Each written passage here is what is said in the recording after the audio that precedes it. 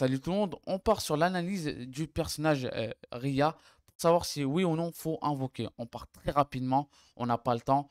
Vous le voyez, 51 000 de puissance, on est sur la version coréenne, 69% de dégâts critiques, 55% de taux de critique, 25 euh, 600 normalement de 25 euh, 600 de dégâts d'attaque basique.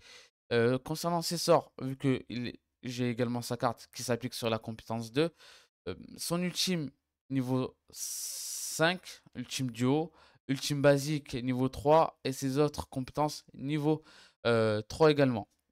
Son, auto-attaque va faire des dégâts de zone. S'il a des bonus, il va appliquer une attaque supplémentaire qui s'applique également sur son ultime et pas que sur son attaque basique. Sur son arbre de talent, je le joue de cette manière. Dégâts de puissance augmentés et dégâts infligés augmentés. Et derrière, pour les équipements, ça sera de cette manière-là. Vous avez bien sûr le second choix où vous allez vous baser sur, sur les taux de critique et les dégâts critiques avec de la super, de la super dégâts. Des super dégâts plutôt. Ici et là. Ça, c'est juste un bonus. Je voulais voir ce que ça donnait. Et dans tout cas, je crois pas avoir eu meilleur de stuff concernant l'unité. Enfin bref. On part tester le perso uniquement en PVE.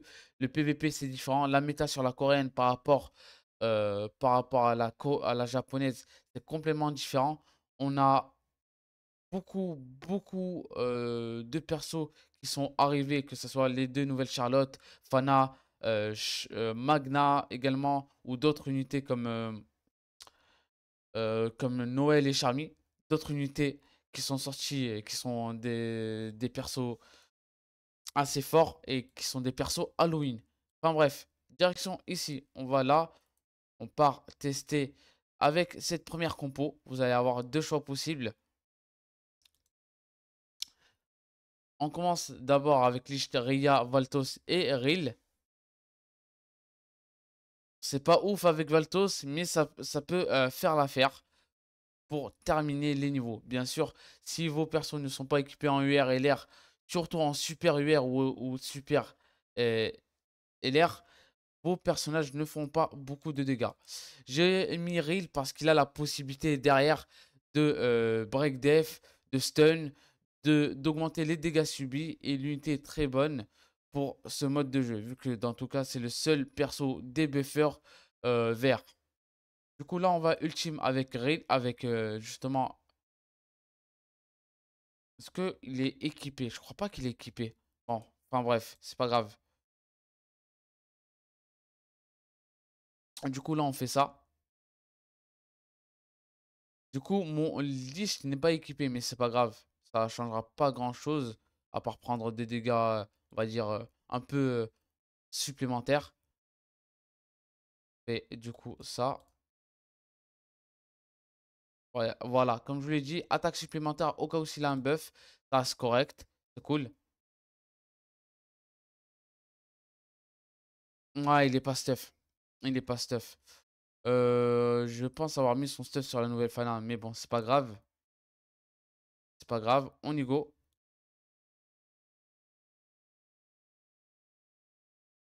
On va essayer d'éliminer lui parce qu'il frappe en zone. Ouais, normalement, je dois faire du 70, entre du 70k et du 100k. Vous voyez un peu les dégâts avec sa deuxième attaque, ça reste correct alors qu'il n'a pas de buff. Ça, c'est vraiment la première team. Il y, a, euh, il y a bien sûr la deuxième team qui est largement meilleure. Euh, en vrai, on va focus à note parce que dans tout cas, je vais attaquer à l'auto-attaque.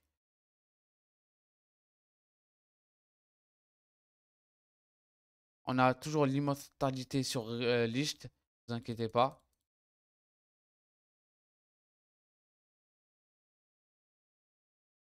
On va utiliser la deuxième compétence, pas l'ultime. On le garde pour le dernier tour. On utilise l'ultime pour lui. On va utiliser la deuxième compétence sur lui. On booste Licht, enfin Doria. On va terminer sur ça pour ce tour avec Ria. Et là, c'est là où ça va beaucoup se jouer. Avec tous les buffs, on va accumuler. Ah, là, j'ai pas réussi à le proc, mais bon. En tout cas, il y a les debuffs. On va euh, focus lui parce qu'il va être énormément casse-bonbon. Et on va utiliser l'ultime. 210, j'en ai éliminé un, ça reste correct. Du coup, là, on n'a plus de buff. On va essayer de terminer lui. Et on a la deuxième compétence pour... Euh, compte même pas. Vous voyez que l'unité reste bonne, mais il a besoin d'être sous certaines conditions pour faire un maximum de dégâts. Par ailleurs, là, pour la seconde team, c'est là où vous allez voir la différence entre euh, le stuff, plutôt entre les bons euh, buffs et quand il n'est pas stuff. Bon, quand il n'est pas buff. La fatigue qui joue les 3h du matin, les gars. Normalement, j'aurais dû dormir il y a 3 h 4 h Ça fait 4 heures que j'essaie de tourner la vidéo avec les, les showcases et l'analyse. Je suis complètement KO. Il se peut que je vous balance la vidéo directement sans montage pour vous dire à quel point je suis fatigué.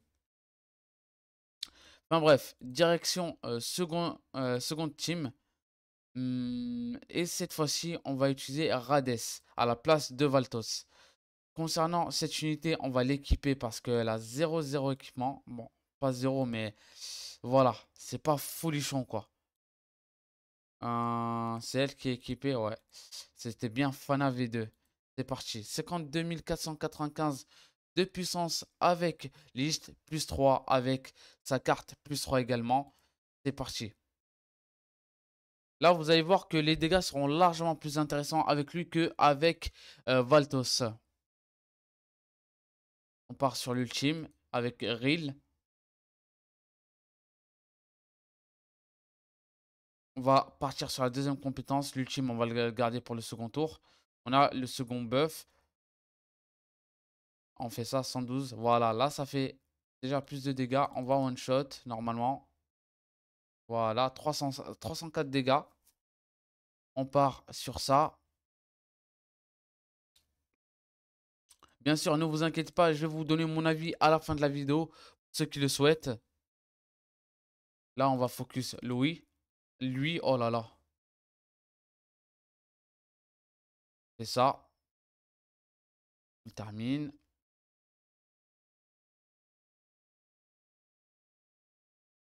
On augmente la durée des malus avec son auto-attaque. On continue à le focus. On va maintenant sur l'auto-attaque.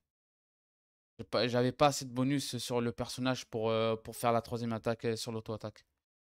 On reste sur l'auto-attaque, ça sert à rien de faire plus que ça. On termine. Lui, le focus. On va faire ça. Garde la dernière compétence. Plutôt l'ultime. On récupère tout pour ce tour. Tous les ultimes avec tous les persos. À l'exception de Rades. On met un petit stun, pas mal de malus. On boost. Alors, besoin qu'un seul. Mais ça suffira pour en one shot euh, plus d'un, normalement.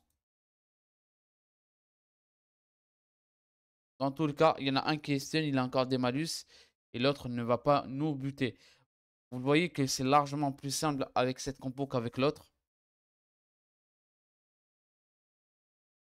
Et que même s'il n'est pas sous les meilleures conditions possibles, il reste quand même potable. Ok, voilà. C'était le petit test. Maintenant, est-ce qu'il faut invoquer sur l'unité? De mon point de vue, il ne faut pas invoquer sur ces deux unités, à l'exception si vous mettez de l'argent. Je m'explique. Premièrement, si vous avez déjà augmenté les compétences au minimum niveau 3 sur vos personnages, surtout vos personnages, vous pouvez vous permettre d'invoquer sur lui.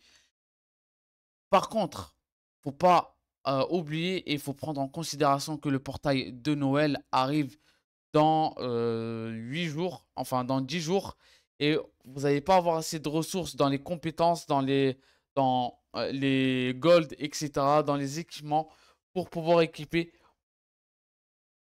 cette nouvelle unité, plutôt ces deux nouvelles unités, accompagnées derrière de Noël, Charmy, gauche, au cas où si vous droppez les trois.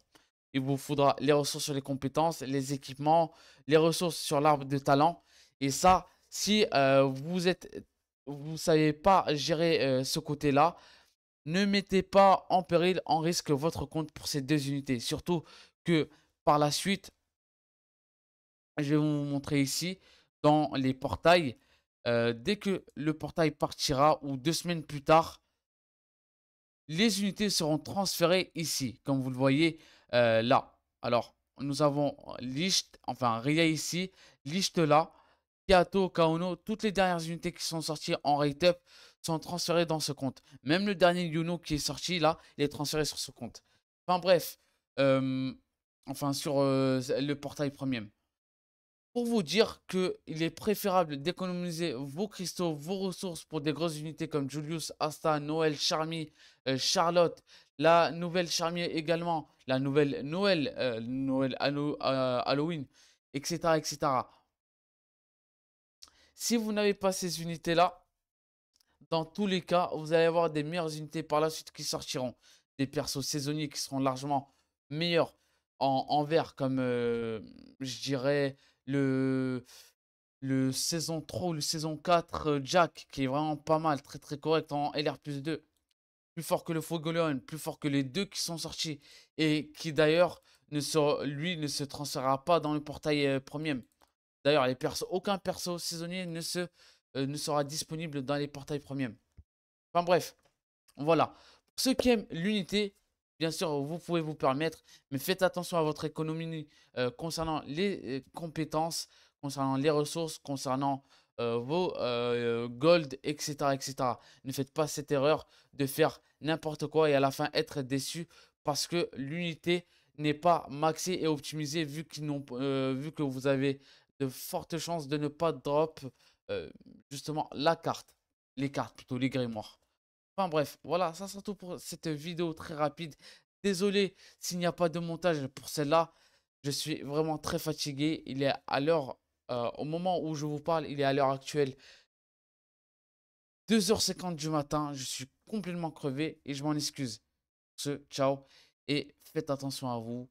Bonne nuit, reposez-vous bien, bon week-end et passez dès maintenant à mon réveillon.